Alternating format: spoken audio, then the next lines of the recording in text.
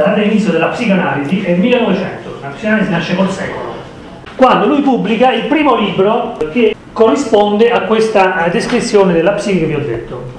Cioè il primo libro nel quale lui annuncia no, le sue scoperte è del 1900 e non a caso si intitola L'interpretazione dei sogni. L'interpretazione dei sogni è il libro del 1900 con cui si apre il discorso psicoanalitico. Vedremo perché i sogni sono molto importanti. Poi lui è morto, eh, è morto alla fine degli anni 30 in Inghilterra, quindi ha avuto più di 30 anni per approfondire le sue ricerche, i suoi studi. Allora, quello che noi adesso abbiamo detto è la prima topic, la prima descrizione che lui ha fatto, poi ci sono stati ulteriori approfondimenti che noi accenneremo. Quindi a 44 anni pubblica l'interpretazione dei sogni.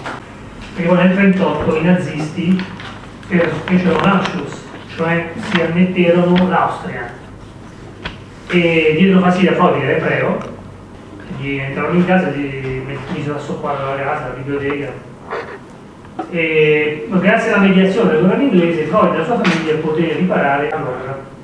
Infatti si racconta anche che però eh, diciamo, la Gestapo volle che lui firmasse una dichiarazione in cui non gli era stato fatto niente, che non era proprio vero.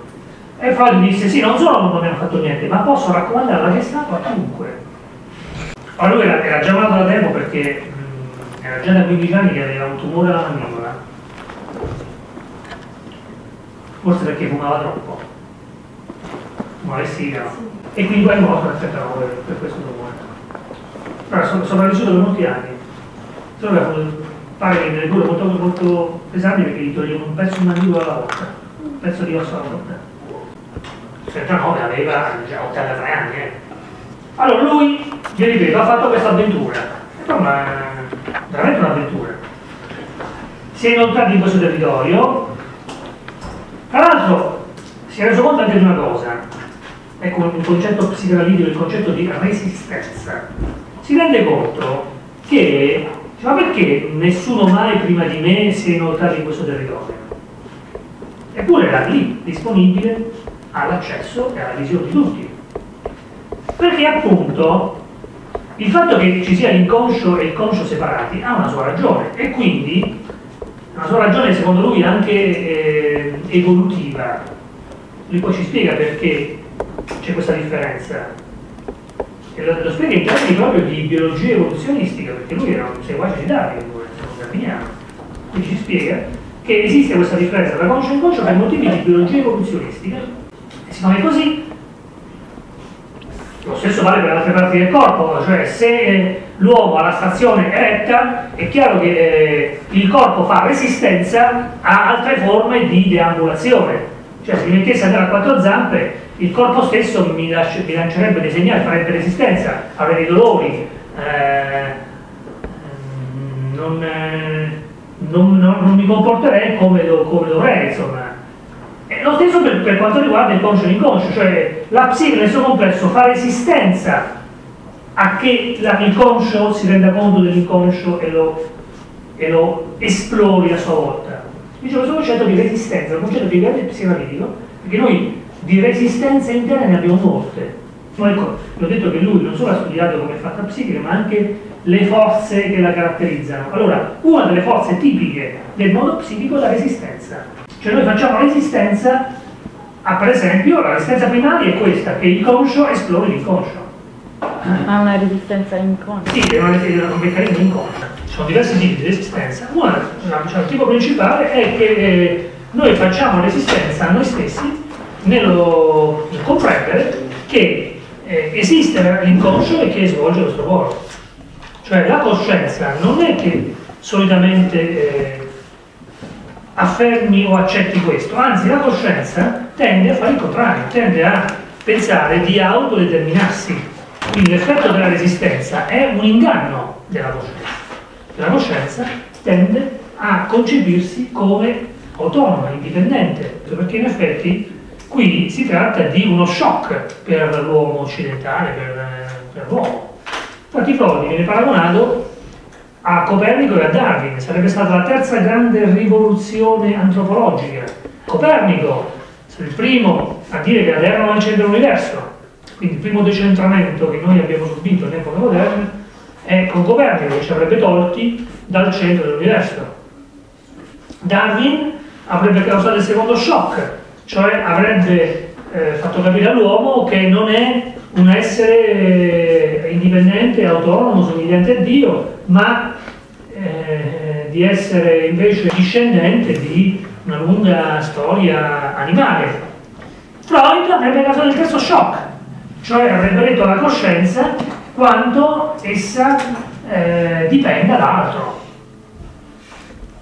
E quindi uno shock eh, notevole, mm, che va contro l'idea che invece noi ci faremmo della nostra autodeterminazione. Non siamo noi ad autodeterminarci, ma sono altre forze, altre dinamiche che ci spingono a fare certe scelte e a orientarsi in una certa direzione. Da questo punto di vista qualcuno ha paragonato Freud anche a Marx in effetti, cioè come Marx diceva, no? non è la coscienza a determinare le condizioni materiali di vita, ma sono le condizioni materiali di vita a determinare la coscienza.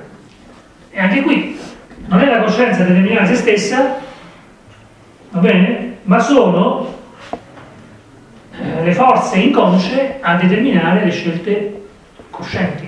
E questo, ripeto, eh, va sottolineato fortemente perché eh, questa grande scoperta, come tutte le grandi scoperte, non è che si limitano a scoprire eh, l'oggetto eh, indiziato dall'autore, ma mh, modificano l'equilibrio complessivo delle nostre conoscenze. Cioè, con la psicanalisi noi abbiamo subito, ripeto, uno shock paragonabile all'eliocentrismo di Copernico o alla teoria evoluzionistica di Darwin. Ora ce ne accorgiamo un po' meno oggi perché ormai la psicanalisi è penetrata dentro il linguaggio anche comune e quindi però per i primi che hanno sentito queste cose non ci credevano perché pensavano oh, allora eh, non sono più un essere razionale e eh, equilibrato hm? Si dice in latino compos sui cioè che si autocontrolla ma sono, non sono nient'altro che il prodotto di una serie di forze a me sconosciute e in quanto sconosciute incontrollabili da me.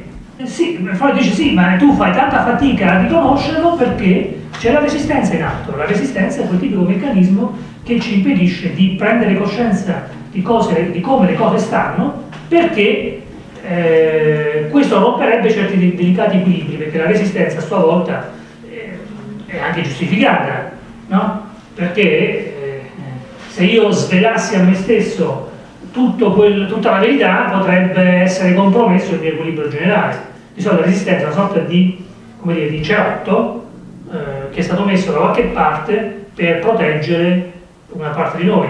Se noi togliamo tutti i cerotti, crolliamo.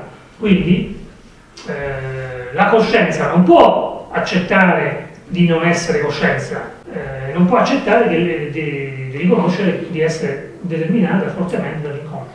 E lui come ha fatto? Come spiega che lui è uscito?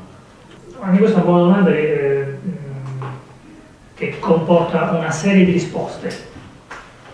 Cioè, quando uno si chiede, si fa questa domanda, deve farla a, a livelli diversi. Cioè, intanto ci vuole una circostanza.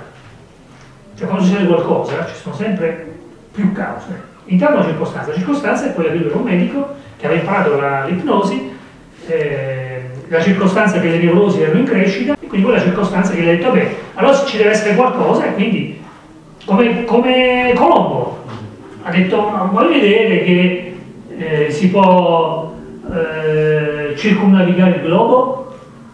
Stessa cosa, un po' un Cristoforo Colombo della, della psiche. Questa è la cosa. Poi, a volte la scoperta nasce anche dalla sofferenza, appunto, cioè eh, o, da, o dal coraggio eh, o da certe capacità. Sicuramente Freud era un uomo molto introiettivo, cioè un uomo che aveva il coraggio di guardarsi dentro. Infatti lui lo fa capire, lo riferisce diverse volte, anzi si, era, si è convinto, ha capito che aveva un rapporto eh, particolare col padre e lui si è convinto, forse non è neanche vero, ma si è convinto che solo la morte del padre, solo dopo che il padre fosse morto, lui poteva eh, intraprendere questo viaggio. Cioè fino a quando il padre è rimasto in vita, lui lo sentiva come un blocco morale o di altro genere a esercitare questa, eh, questa esplorazione. Ciò è il segnale, l'indizio del fatto che quest'uomo non è un, un, uomo solo che vive nell'esterno, se fosse un uomo che vive solo all'esterno, sarebbe rimasto un medico. Va bene? È un uomo che vive all'interno, cioè che si guarda dentro, che si, e, che, e che non... Eh, che non eh, appunto che cerca anche di aggirare le proprie resistenze. A chi verrebbe in mente una cosa del genere? Se ti viene in mente una cosa del genere pensi di essere pazzo. Una cosa un po' che soltanto persone assai coraggiose, assai capaci di, di mm, guardarsi dentro e di um, um, lavorare dentro se stessi sono in grado di fare. E allora, a questa è la seconda caratteristica. Magari tanta altra gente si è accorta di questo, infatti che esistesse un inconscio ogni tanto qualcuno l'aveva già detto in passato, non è la prima volta. Se vogliamo anche in, Fichte eh, la produzione dell'onio da parte dell'io è inconscia, se vi ricordate, quindi non è la prima volta che emergeva questo tema. Però Sicuramente Freud rispetto a Fichte era un uomo più problematico, più eh, introiettivo, introspettivo, d'accordo? Quindi una, una, una, serie di circostanze storiche e personali, delle eh, caratteristiche anche proprie, personali, esistenziali. Infatti, Freud poi ha prescritto a tutti quelli che volessero diventare psicoanalisti un periodo di analisi cioè quello che lui ha fatto dentro di sé. Lui ha fatto l'autoanalisi e oggi, ancora oggi, tu vuoi diventare psicanalista freudiano, lo puoi diventare, perché c'è un'associazione che ammette il 50% di medici e il 50% di non medici. Eh, se tu vuoi diventarlo, a tua volta vuoi curare gli altri, devi fare un lungo training di analisi. Devi andare da uno psicanalista e per 4 anni farti analizzare. Cioè, farti dire da lui quello che tu non diresti mai a te stesso. Il primo inconscio che lui ha esplorato è il suo. Con grande sofferenza pure, eh? che ha scoperto una serie di cose che nessuno aveva mai scoperto. Cioè ha scoperto per esempio che, appena detto, che fra genitori e figli, oltre all'amore e all'affetto, c'è anche dell'ostilità fisiologica, ma non basta. Tutto questo non basta. Che cos'altro ci voleva? Altri tre ingredienti importantissimi. Una cultura medico-scientifica di altissimo livello. Non basta perché la psicanalisi è qualcosa di più. Sono almeno un altro paio di ingredienti che non sono di natura medico-scientifica ma sono di tutt'altra natura. Per esempio lui ci ha messo dentro anche una valorizzazione enorme della mitologia greca, quindi del, degli studi classici. La psicanalisi è una strana e interessante mistura fra materialismo medico-scientifico e classicismo e classicità, non molto strana perché eh, il modello educativo del tedesco medio, del germanofono medio, è sempre stato questo, ancora oggi. Il ginnasio tedesco, che è una scuola d'elite, chi sceglie il ginnasio, che formazione riceve? Riceve questa formazione fortemente scientifica ma anche fortemente classica. E per Freud la mitologia, e questa è stata una, una, una scelta interessante che lui ha fatto, una scelta anche questa poco, dire, eh, tradizionale, poco eh, consueta, e cioè, anche qui voglio dire, un certo razionalismo della coscienza, cioè tutto ciò che eh, non corrisponde a un criterio di calcolo ben preciso sembra essere privo di significato, privo di senso. E no, dice Freud, se gli uomini che hanno costruito la nostra civiltà hanno perso tanto tempo, tra virgolette, ad elaborare una serie di racconti, di miti, in questi racconti, in questi miti, ci deve essere qualcosa di importante anche per noi, che parla anche a noi, alcuni segreti ci devono essere nella nostra vita. Non possono essere semplicemente cose di un passato primitivo che in quanto tale possiamo anche, di cui possiamo sbarazzarci facilmente, anzi di cui dobbiamo sbarazzarci. Cioè la mitologia è una sorta di deposito di sapienza originaria, di verità originarie che vanno rilette e riaggiornate. Per esempio, la mitologia, anche la tragedia, famoso, la cosa più famosa della psicanalisi è il famoso complesso di Edipo. Ha aggiunto un ultimo tassello per capirci. C'è un altro tassello che è di natura ebraica, la sua cultura ebraica.